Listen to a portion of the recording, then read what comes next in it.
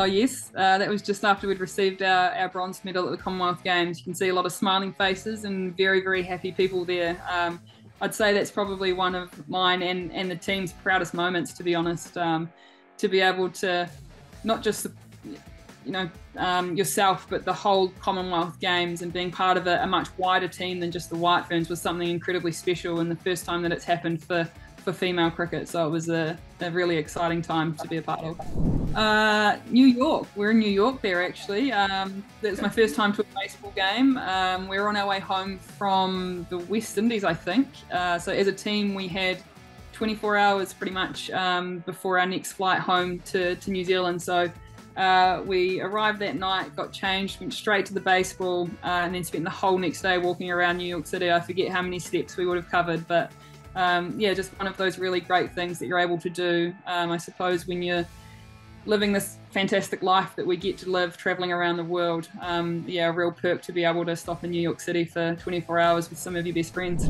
Oh yes, uh, playing for the Renegades, I think that is, um, in the WBBL. So.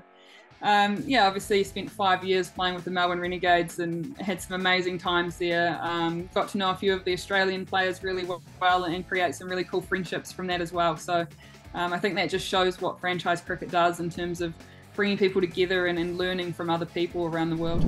Uh, yes, Canterbury winning the T20 title. Uh, you can see Grace there in the background there. So um, yeah, that was very cool. I think that was um, Amy's first year back playing um, post post pregnancy, and um, yeah, we managed to, to make the T20 final, and we were in a bit of trouble, and um, thankfully a few came out of the middle off the bat, and we managed to, to get a win. and um, it was very special being able to celebrate that with Grace there as well. Um, she became a bit of a lucky charm actually. Um, as a Canterbury team, we won. We've won every final we've made when she's been at the ground. Uh, and this past year, we actually played a, a one-day final uh, in Queenstown, and we didn't take Grace, and we lost. So um, we got in a bit of trouble for not having her with us. Oh, the first year of the exhibition games of the IPL. Um, yeah, very another thing that was amazing to be a part of. Um, those first couple of years where they did um, exhibition games and I guess rubbing shoulders with some of the Indian players and uh, you sort of knew then that it would be really special whenever a, a women's IPL took off and we certainly saw that um, this year the, the impact that that's going to have on the game is fantastic.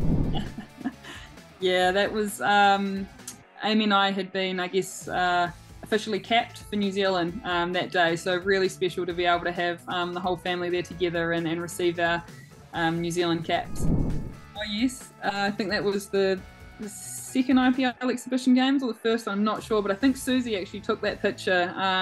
I don't normally wear pink, so she was actually um, making fun of me a little bit. I think um, for being in the pink that day.